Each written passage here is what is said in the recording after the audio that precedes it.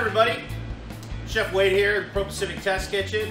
And today we're going to talk about brown butter. I use it a lot. You've probably seen other videos of me programming it into the combi. But today we're going to use our cook and hold, our Alto-Shaam TH3.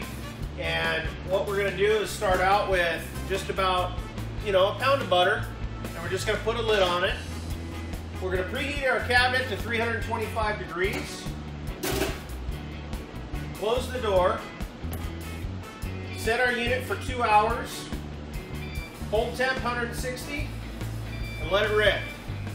So we've taken our brown butter out of the uh, cook and hold, the 300 TH3 Alto-Shaam.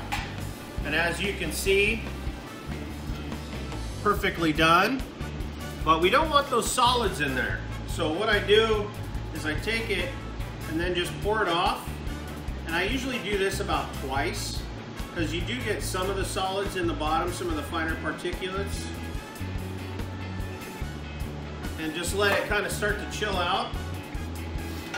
And then what I'll do is I'll probably strain that one more time into a deli container like this and then just put it in the refrigerator or the freezer. It lasts for months, so I always have some on hand.